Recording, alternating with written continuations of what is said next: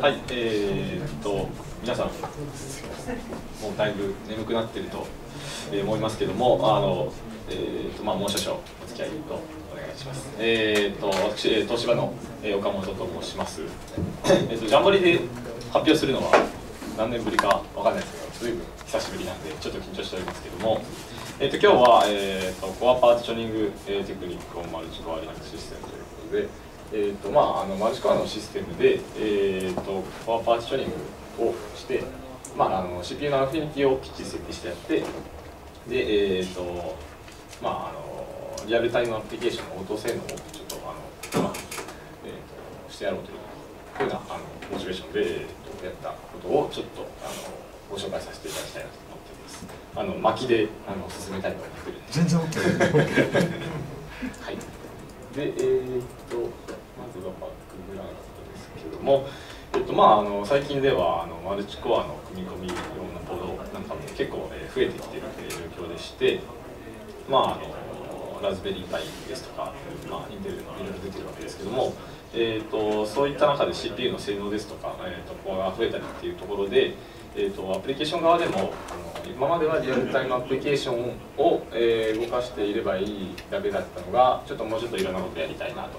いうようなあの要望が出てきている、えー、わけですけども、えー、で、えーと、そういういろんなことをやりつつも、えー、でもリアルタイムアプリケーションの、えーと、レイテンシーっていうのはきっちり抑えてほしいよねっていうような、えーと、ことがありましてこれを、えー、といかに、え実現してやるかっていったところで、えー、と今回が、えー、今回のモチベーションになっております。で、えー、とこちらが、えーとまあ、4コアの、Linux システムの、えーとまあ、簡単な、えー、概要の図になるんですけども、えーまあ、Linux の、えーと、処理というのを、まあ、大きく分類して、えーと、ユーザープロセスと、えー、カーネルスレッドと、まあ、割り込みこの3つに大きく、えー、今回ちょっと分類しています。で、えー、まああのコアが、えー、4つほどあるシステムで、えー、その上のいろんな処理っていうのは基本的にはあの負荷分散して、えー、どのコアでも、えー、動けるようなえー、ものになっています。なので、えーと、例えばデーモンですとか、えー、Linux の、えーまあ、肉の割り込みですとかあとドライバーの、えー、割り込みハンドルですとか、まあ、コア1で動いてたり、えー、他のコア2とか3とか0とかで動いてたり。っていうので、えー、要はどういうことかと言いますと,、えーと、リアルタイムアプリケーションが動くコアで、まあ、他のものが、えーと、割と普通に、動いちゃいますよと。いうことで、えーと、リアルタイムアプリケーションの応答性能がえーまあ、これで低下してしまうんじゃないかという懸念が、えー、あります。でせっかくマルチコアなんだから、えー、もうあの、えー、一般的な処理っていうのを全部コアゼロに全部押し込んじゃってで他のコアはもう空き状態にしてやると。でその上で、えー、自分たちの動かしたいものを、えー、それぞれの上で動かしてやろうと、えー、いうことをすることで、えー、リアルタイムアプリケーションがえ他の処理に、え邪魔されないようにしましょうというのが、えーと、目的です。で、まあ、RT アプリケーションをコア1で、えー、単独で動かしてやるというのが、えー、今回の目的となっています。でじゃあ早速なんですけども、えーと、このユーザープロセスに関する、えー、コアパーティションの方法を、えー、ちょっと説明します。まあ、この辺多分ご存知の方結構いると思うので、まあ、あの知ってるなぐらいで聞いてもらえればいいと思うんですけども、えっとまあ、まずユーザープロセスの、えーと、CPU アフィ CPU affinity の、えー、設定方法なんですあ CPU アフィニティなんですけども基本的にはユーザープロセスのデフォルトの CPU affinity っていうのは、えーと、全ての、コアで動作できるできるような値が設定されています。なのでここちょっと見にくいですけど F F4 コアで F なんで全部のビットが立っているような形になっていますこれタスクセットコマンドで、えーと PID1 のプロセスの CPI を見た時の結果です。で、まあ、この辺どうやって設定を変更するかっていうので、このタスクセットコマンドが使ってもいいんですけど、まあ、一括して変更する方法として、カーネルの引数に ISOCPUs という引数を与えてやります。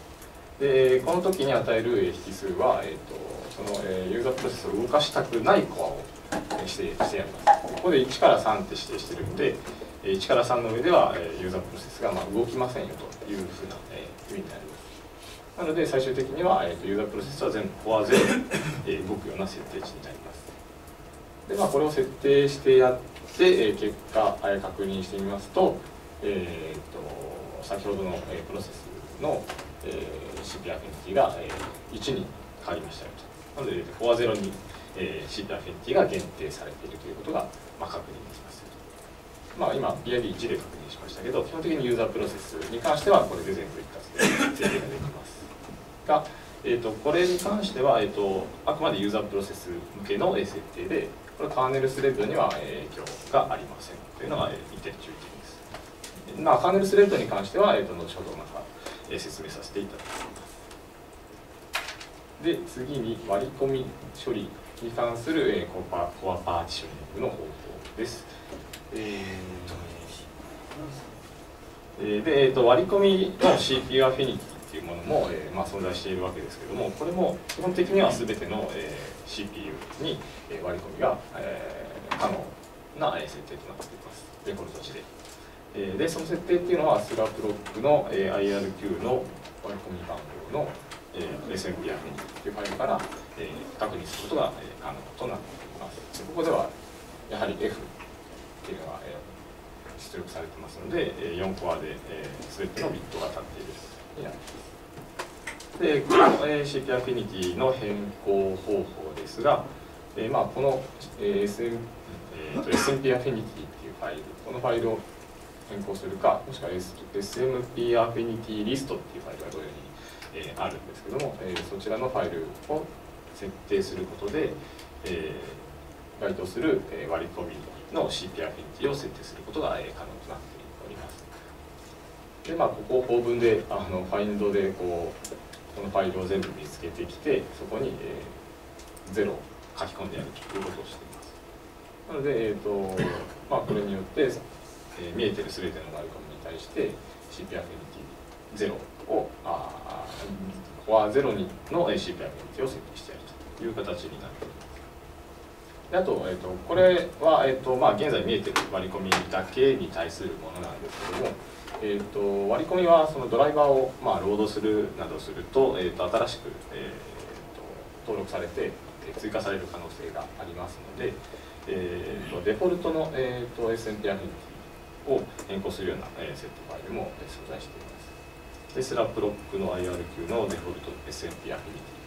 という、えー、ファイルを設定することで、えー、割り込み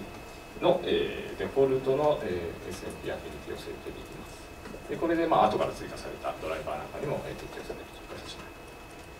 ます。で、え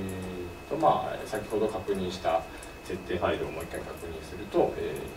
ー、値が1になっているということで、えーまあ、あのコア0にやれましたよという形に、なっております。で、えーとこれで、まあえーと、割り込みに関してはその分ですね、えー、ハードウェアから、えー、CPU に入ってくる割り込みに関してはこのコア0に限定できました。で次にこのこの CPU が、えー、ドライバーの割り込みハンドラーを処理するところに関しても、えー、コア0に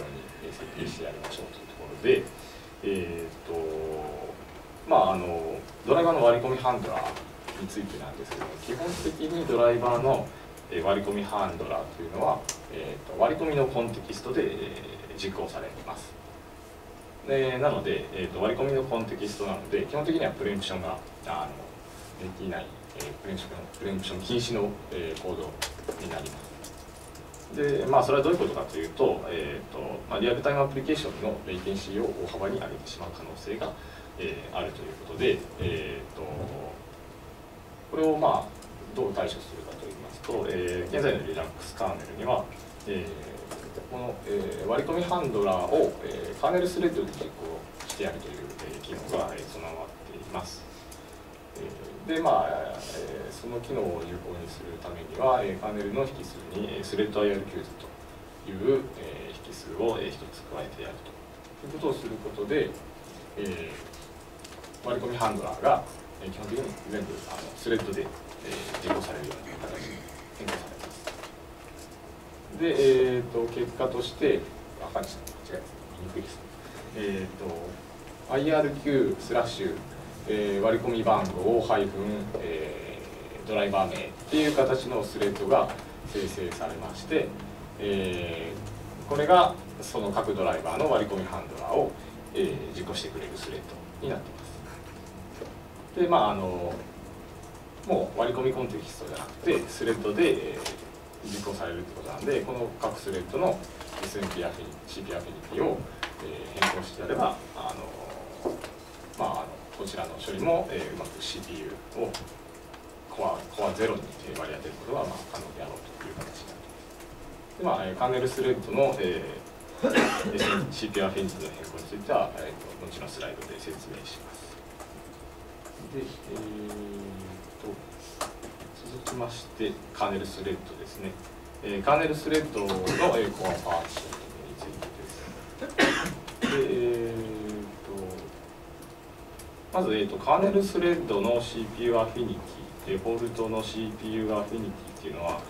えーと、基本ほとんどのカーネルスレッドがやはりコア全部のコアで動作可能な、ものとなっています。で、えーとまあ、それらを、えーと、どのように、え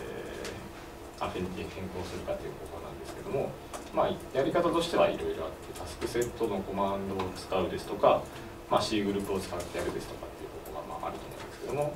今回はちょっと C グループを、えー、使ってやろうという形で、えー、選択しています。で C グループを使うにしてもいろいろ方法がまああってで C グループのファイルシステムをまあ直接叩いてるですとか、えリグ C グループパッケージ使うですとか CPU セットパッケージを使うですとか、まあ、これもまあいろいろやり方があるんですけども今回は、えーと、CPU セットパッケージっていうのを、ね、ちょっと使うようにしています、まあ、これ単純にあのコマンドがシンプルで使いやすかったから、えー、それを使ったというだけなので、まあ、これはあの必要に応じてあの好きなのを選択すればいいのかなというふうには思っていますでえっ、と、まあ、C グループを使ってあ C セットコマンドを使ってじゃあどのようにパネルスレッドを、えー、の CPU アフィニティを変更するかっていうのが、えー、こちらのコマンドになっています。でこちらのコマンドで何をやってるかと言いますと,、えーと、-C の0っていうのはこれはコア0を示してるんですけどもコア0上で、えー、動かすためのグループ CPU0 っていうグループをまず作りますっていうのが1行ですで次にこの、えー、CPU0 っていうグループに対して、えーと、と全てのプロセスをえーと、カーネルスレッド含め、えー、ここちらのグループに、えー、移動させるっていうのが、えー、2つ目の、えー、コマンドになっています。でこのコマンドは、えーと、基本的には、えーと、カーネルスレッドだけじゃなくてユーザープロセスもまあ含め全部移してやるような、処理になってるんで、えーとまあ、最初の、ユーザープロセスの SMP アフィニティが若干意味のないものになってしまう部分でもあるんですけども、まあ、あのこういうやり方で、カーネルスレッドをまとめて全部、えーと、コアゼロに割り当てることが、可能となっています。でただちょっと一点一点あのちょっと注意していただきたいのが、えーと、ユニットプロセスについては、えーと C グループの、えーと、ルートグループに、えー、いないとちょっとまずいっていう、えー、のがありましてこれは単純にあのちょっと使ってみて発生した問題なんですけども、えーとえー、ユニットプロセスを、えーと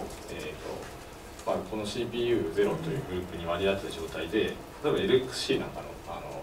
コンテナのツールを使ってみると,、えーと、コンテナが立ち上がらないとか、え、いう現象がちょっと発生しました。でどうも調べてみるとユニットプロセスが、えーと、きちんとルートグループにいないと、えーまあ、まずいことになるよとえー、いうことが分かったので、えこのユニットプロセスに関しては、えーと、ルルートグループに戻してやってで、えーまあ、タスクセットコマンドなり何なりで、えー、一応、えー、コアゼロに割り当てておくというようなことを、えー、する必要があります。で、えーと、カーネルスレッドこれでまあ一見全部、えー、コア割り当てができるように見えるんですけどもちょっといくつか制限があります。まず、えーと、1つ目が、えー、CPU バウンドなカーネルスレッドというスレッドというものが、えーと、存在するということです。で、えーとまあ、いくつかのカーネルスレッドは、えーと、CPU コア動く CPU コアがもう初めから指定されているようなものが、はい、ありまして、えー、この辺は、えーと、CPU アフィニティの、えー、設定が変更不可となってますで、えーとまあ、CPU バウンドなカーネルスレッドは、えーとえー、コマン、えー、コマンドじゃないえー、スレッドの名前の後ろにスラッシュで、えー、コア番号の数字っていうような、えー名前で定義されているのであの PS コマンドで見てみればすぐ分かると思うんですけどもこの辺は基本的に、えーと、SMP アフィニティを変更することができません。ただまあこの辺はあの要は、えーと、この辺がいろいろそういう特定のコアで動かないといけない責務を持ってそこに貼り付いているので、まあ、それに関して言えば問題はないのかなというふうに、思ってます。ちょっと、えー、2番目のやつが、えーえー、動的に生成されるカーネルスレッドというのが存在するんですけども、えーと、動的に生成されるカーネルスレッドは基本的には、えーと、デフォルトの、えー、生成された際にデフォルトのエースエンの設定を持って生まれてき、えー、ます。なので、えーとまあ、さっきので言うと、えーとまあ、全コアで動けるような形ですね。で、生まれてきます。なので、えーと、例えばこの、えーと、C グループで、えーと、パネルスレッドの設定、えー、シピアフィニティの設定を、えー、行った後に、えー、何か新たにカーネルスレッドが生成された場合はそいつは、えーと、SMP affinity CPU affinity が、設定されてない状態で生まれてきてしまうという形になるので、えーと、そこに関しては1点スケールになってしまいます。例えばなんですけどもえーと、 ext3とか4とかのファイルシステムをマウントすると、えー、K journal D っていうものが、まあ、生成されますこれはあのマウントした時点で生成されるので、えー、残念ながらあのの CPU アフィニティの設定を起動時にしておくと後からマウントするとそれには適用されませんというような形あと,、えーと、カーネルスレッドなんですけどもちょっと特殊なところでなんかさっきいろいろちょっと話が出てきたんですけど、えーと、ワーカースレッド、えー、というものが、えー、存在します。でまあワーカースレッドって何っていうのはもうここにいる方は基本的にご存知だと思ってるですけども、まあ、カーネル内の、えーと、遅延処理を行うための、まあ、フレームワークというか、えー、いうものになってますでえっ、ー、とえー、ワーカースレッドに関しても、えーと、CPU バウンドなもの CPU アンバウンドなものが、えー、存在しています。で CPU バウンドなものは、えーと、K ワーカースラッシュ、えー、コア番号、えー、コロン ID 名前がついています。で、えー、CPU アンバウンドなものは K ワーカースラッシュ U、えー、プール番号コロン ID プール番号ってちょっとあのあまり自分もよく分かってないんですけど、えーと要は、えーと、K ワーカーの、えーと、スレッドプールっていうのがあってそのプールの番号というふうに、えー、なってます。でえっ、ー、と、まあ、PS コマンドで確認してみると、まあ、このようなスレッドが、え、見られまして K ワーカースラッシュ0この1っていうのは、えー、要は CPU バウンドな感じです。あワーカースレッドで。で K ワーカー U8 コロン2っていうのが CPU アンバウンドな任せると思います。でそれぞれの、えー、センペアフィニティを確認してみると CPU バウンドなものは、えー、その対象のコアにきちんと貼り付いて動いてて CPU アンバウンドなものっていうのは、えー、F が、設定されている。どのコアでも動けるような、えー、スレッドになっています。でこの、えーと、K ワーカーのスレッドっていうのは先ほどの C グループの設定というものを基本的に受け付けないので、えーと、カーネルが K ワーカーにえー、任せた処理っていうのは、えー、どこのコアでも動いてしまいます。で、えーと、この辺もちょっと、えー、対処法がちょっとだけありましてえっ、ー、とえー、ワーク級の、えーと、CP アフィニティを、えー、変更する方法というのも、えー、存在しています。でこれは、えーとスラッシュ sys の devices の virtual の workqueue の下に、えー、設定が変更可能な、えーと、 workqueue が、えー、確認できるようになっていますでこの下の CP マスクえー、というファイルに、えー、と書き込むことでそのワークに対しての、えー、CP アフィニティっていうのを、え変更することが可能となっております。で、えーとまあ、ここに見えてるものだけなんで全てのワークに対してあワークに対してできるものではないんですけども少なくともここに見えてるものに関してはアフィニティを設定変更可能になっています。で、えーとまあ、私のマシンでとりあえず見たところで言うと、えライトバック処理っていうのがここに登録されています、まあ、ライトバック処理結局その IO とかに絡んでくるんでこれの CP アフィニティを設置するっていうのは結構でかい意味を持つところになります。で、えーとまあ、これも先ほどの、えーと、いろいろなものと、一緒でデフォルトの値っていうのも、変更可能になってましてえーと、シスのデバイスのバーチャルワーキューの、えー、CPU マスクっていうファイルに、えー、設定することでデフォルト値を変更することが可能となります。で、えー、このワーク級の、えー、CPU のアフィニティを変更すると、えー、何が起こるかと言いますと,、えーと今まであったスレッドの CPU アフィニティが変わるのではなくて新しいスレッドが K ワーカーのスレッドが生成されます。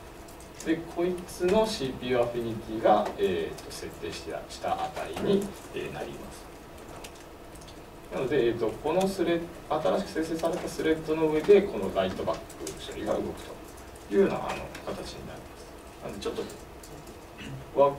ク級だけなんか CPU アフィニティの設定の経路が違うんですけども、まあ、そういうふうなあの設定に Linux で上ではなっております。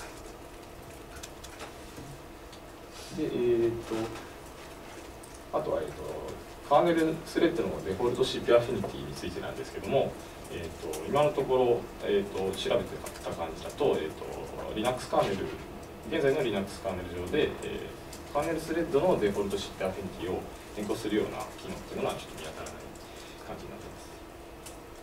でこれが、えーと、先ほどの、えーまあ、動的に生成されるようなカーネルスレッドに対する、えー、制限になってしまっているというのが、えー、現状です。で、え、そこで、まあ、ちょっとせっかくなんで、え、デフォルトの CP アフィニティをあカーネルスレッドのデフォルト CP アフィニティを変更するようなパッチを作ってみましたというのが、え、こちらです。これあの PDF 上げてるんで、まあ後で見ていただければいいかなと思うんですけども 細かいところはちょっと特に説明はしないんですがあのパネルこのパッチを当てると、えー、パネルの引数にケースレッドデフォルト CPU マスクっていう、えー、もので、えー、CPU アフィニティの値を設定すると、えー、基本的にカーネルスレッドのデフォルトの CPU マスク値が指定したものに変わりますというものになっています。では、実際に動かしてみて動いてるなという感じは、え確認してますが、えテストとか全然してないんであの、まあ、今後ちょっと確認したいなとは思っている形です。はい、すみません。はい、えー、えー、とケースレットのリエイトのオンモードに対しても無理やり適用してるんですけど、オンモードのモードってニューマのモードの名前なので、えーまあ、組み込みだと全く問題ないんですけどアップストリームには無理だなああ 投げるのが難しいっていう感じというかちょっとあの工夫が必要ですねっていうか議論になりますね、あまあ、ある意味そこでちょっと投げて議論をっていうのが一つかなという気はしてるんですけど。そうですね。あの多分比較するとしたら、えーとこれがある場合とない場合で本当にサイクリックテストの結果にむしろ変化があるかどどのくらいの変化があるかどうかっていう話そうですねになっちゃうかなえー、っとですねあのサイクリックテストの結果にどれぐらい影響があるかはちょっとあれなんですけどもえー、っとさっき言ったその K ジャーナル D とかって動的に生成されるものなんですけどもえー、っと結局動的に生成されるんでまあ、ずっとポーリングで見るかあのマウントする人がうまく対処するかを、まあ、しないといけないジャーナルでいいのジャーナルファイル使わなければいけない。ああもちろんそういう話も見たまあこの辺り多分ややこしいなと思うやっぱりノードが入ってきてしまうとモードの中で CPU の番号って0から振られるけどモードってそこの0から N 番目と N 番目からあの N 番目みたいな数切られてしまうので、はい、アフィニティ無理やりどっかに切ってしまうとこのの次のなんかモード1で動かそうとしていたのにモード0で動いてるみたいな感じになってそうですね自分なんかその設定するときにあのサニティチェックで見つけてくれないんですかね。なんかというかこれこのロジック自体が難しいでしょうっていう話になると思うんですよ。デフォルトのアフィニティ特にケースあのこういったケースレートに対して割り当てるときに、えーと、どういうふうな形で割り当てるのがいいかっていうのは議論しない難しい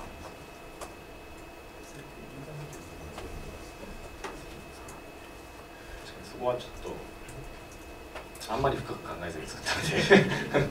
あの議論の余地は大いにあるかなと思ってます。し、えー、まあ、ただその他のいろんな処理でデフォルトの値が存在しているのに、まあ、そのカーネルスレッドだけ、えーと、ないっていう状況にある上で、えー、何かこうできることはないかな。っていうのをちょっと考えて、まあ、試しに作ってみた感じっていうのだと思いますなのでもしかしたら別のアプローチがあるのかもしれないんですけどもちょっとそこはもしかしたら議論すべき内容なのかな特にその、まあ、プリエンプタビティとかの、えー、方でも議論した方がいいメインラインで議論するべきなのかどこで議論するべきなのかちょっと分かんないですけどもそういうところで議論する必要があるかもしれないですね。多分いろんなデータを揃えてどういうものだったらどういうふうになるかとか、あとあのちょっとノードをどういうふうに扱っているか忘れたんですけど、リファンドリクルなあの環境だとどうノードが分かれてるかとかいうのを見た本がありました。ちなみに超初心者クエスチョンだけれどその手のレポートであるとかデータであるとかって例えばブログか何かに置いといてそれをリファーするような形でカーネルメーリングリストか何かに適切なメーリングリストにえー、これ見てなんて形で投げればいいのか。し多分そうだと思いますよ、まずはあの例えばパッチを書いてみて、うん、えーと、その上でこのパッチが入るとこのぐらいのその、えー、効果があるっていうようなことを言えるような、うん、えー、具体的なその効果を示せればいい、うん。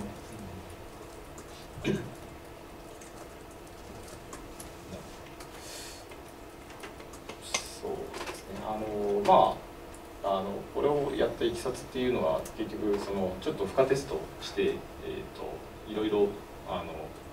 バックグラウンドであの CPR フィニットをきちんと設定したはずなのになんかあの裏でちょっと IO を動かすとなんか負荷がかかってるなっていうのであれなんだろうなと思ったらあのマウントしているファイルシステム後から反応したエクストロ4があれジャーナル D 使ってあこいつかっていう感じでその流れでこれを作ったっていうのがまあちょっといきさつなんですけどもなんで影響があるかないかと言われればまああったから作ったっていう話になるんですけどもこのアプローチがじゃあどう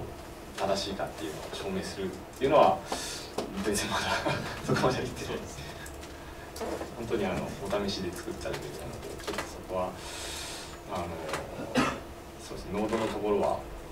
全然ケアしてなかったのであの確認したいと思いますありがとうございます Yeah, I think you already set, uh, uh, you know, uploaded your slide material onto the eLinux wiki, so that uh, within the eLinux wiki you can set up such kind of thread, and maybe uh, Tim and those kind of people will uh, heavily support these kind of things. Um, no one will uh, complain about that, that kind of usage of eLinux wiki.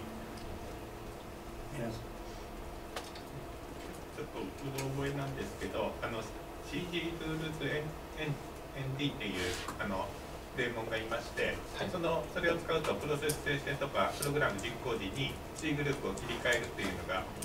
あの event driven でできだから別に生成時生された瞬間はまあデフォルトマスクになっちゃうけどそのその後まあそれをそのプロセス生成イベントを検知したユーザースペースが変更するっていうふうなことをすれば別にカーネル側で対処しなくてもなんとかなるんじゃないかなと思います。そうですねあのデーモンであの、まあ、ある意味そのすでにチェックしておいて、えーと、新しく生成されたものに対してアプリケ変更するっていうのをあのやり方としてはあのあるかなと思ってるんですけどもそうするとその生成された瞬間からそのデーモンが検知するまでのこの間を保証できるかできないか。そこまでまあ厳密にやる必要があるかどうかということなんですけどなのであのターゲット依存だだとは思うんですけどあのそういうところができる Uh, so it seems that you do like an opt-out approach where you can boot all CPUs and then try to somehow control the CPU at any day, different components. But I wonder if it's easier to if you boot with like max CPUs equals one, boot with a single core and then use like CPU hotplug to insert them. That might uh, affect the default uh, CPU mask in the way that you 完全に理解できてないんですけど 一旦全部起こしてからはい。外すんじゃなくて最初から1個だけそのインクアみたいに見せてシールドインかなんかで分けちゃって1個しか最初から見せるのが簡単なんじゃないって言ってホホットプラグ使ってそうやってます I wonder. 言ってもいいですよ選手確かに。そういう方法も。割り込みだけ分けたいならそういう方法もある。そうですね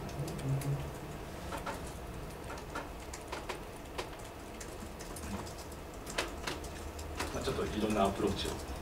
今後も試してみたいと思います。ありがとうございます。Thank you very much. えーと、なんだっけ。あ、まあ、とりあえず、あの、このタッチは、えーと、議論を読みそうだということで、まあ、あの、えーと、続きを、えーで、えーと、リアルタイムアプリケーションを、じゃあ、えーと、動かしてやりましょうっていうところなんですけども、えー、基本的にはさっきあのカーネルのカーネルスレッドを設定したのに C セットコマンドを利用して、えー、と設定してやろうという形になっています。なのであのここは特に大きく説明することはないんですけども、まあ、あのコア1用のえグループを作ってやりましてでそこで、えーと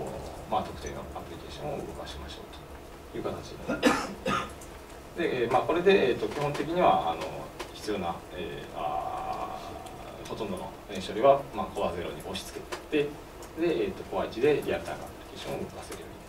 うになったはずだという形になります。じゃあ、えー、とこれまでの設定を使って、えーサイクリックテストを動かしてみた結果をちょっと、えーご紹介しますと。いうことで、まあ、サイクリックテストについては皆さんあのご存知の方が、えー大変だと思うんですけども、えーとまああのえーとさいえ周期タイマーを、えーまあ、設定してやりましてで設定した、えータイえータイマーを設定した時刻と実際に、えーとプロセスがウェイクアップした時刻の、え差分を、えーレイテンシーとして取ってくるっていうような、えーベンチマークツールになってます。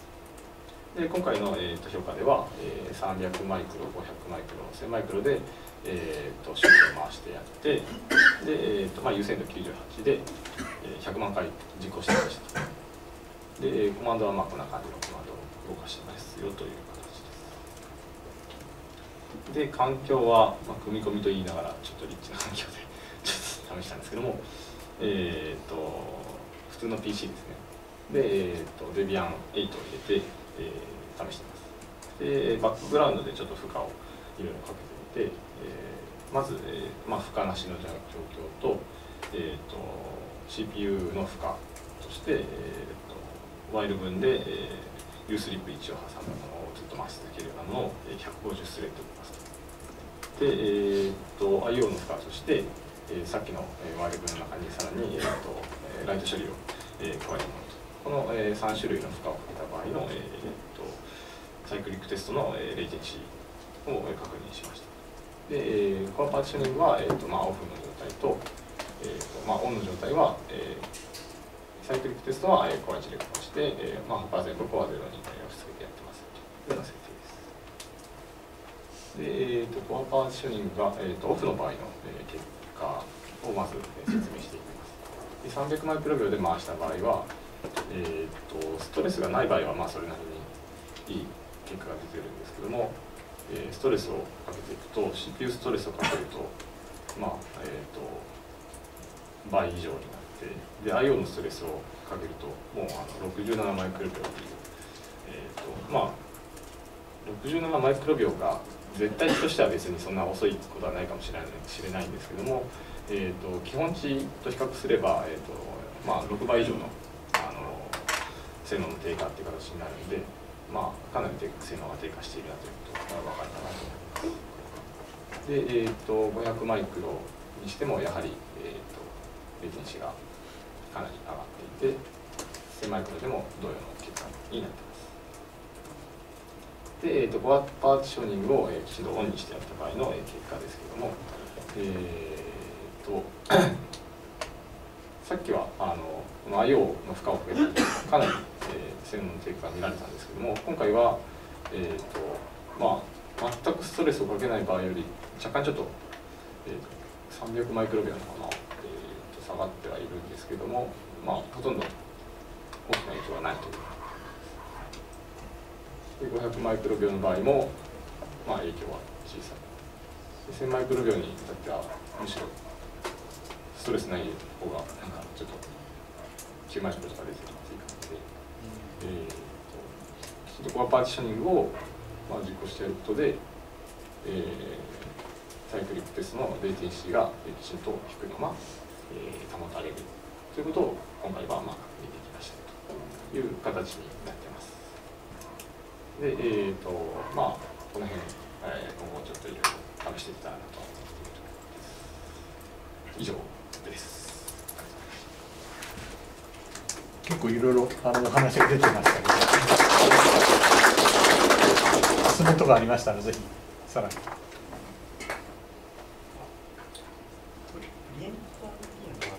あいや、普通の感じです。はい、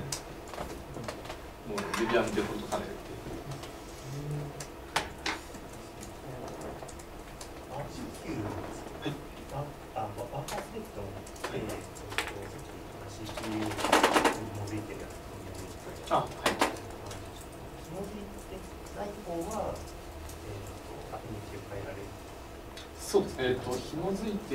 方で、えーと、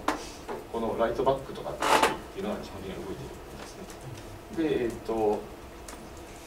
の紐づいてないこの 8U8 コロン2っていうスレッドで動いててこのスレッドが、えー、アフィニティ F で、えーとまあ、どのコアでも動ける形になってい。で、えーと、このライトバックのアフィニティを変更してやるとえーと、新しいスレッドができてそのスレッドの affinity が、えーと、今設定した値でその上でこの writeback が動くっていう形になるのでちょっとそのワーカースレッド自体の affinity をが変更されるのではなくて新しくスレッドが生成されるっていうふうな形にワーカースレッドに処理ワーカースレッドに処理される処理がそっちにそうですね。処理がそっちに移るこういう CPU の分類は、はい、そっちはもう変えられない変える術は特に見当たらなかった今回、えーと、テストをしたサイクリックテストもそうですけどあちらの方はそのアイソレーションした CPU の上で動かしてるんですよあえっ、ー、と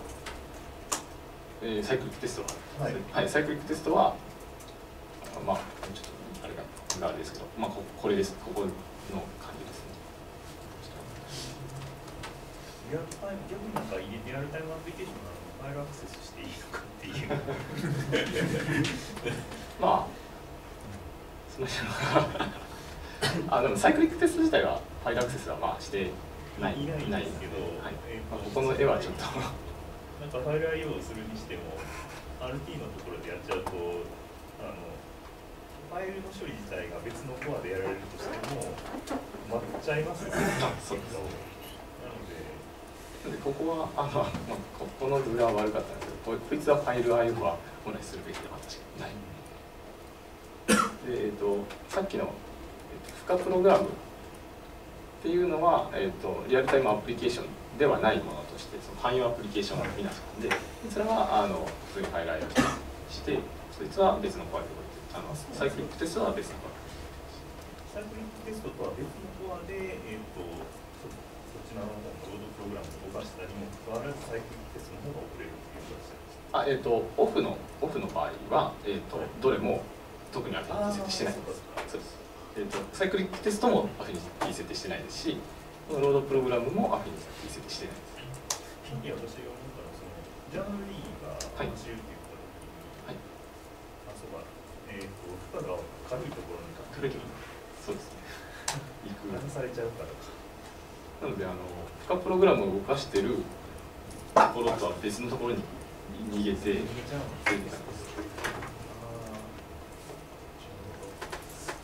なんで不思議といつもなんか特定のコアで動くなってことがあったんですけど多分それはそういうことだと思います。